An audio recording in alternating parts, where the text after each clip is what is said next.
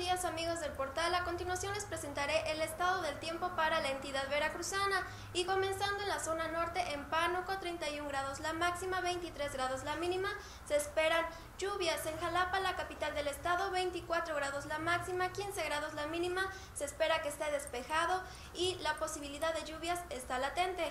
En Orizaba 24 grados la máxima, 17 grados la mínima, se espera que esté nublado y posibles tormentas.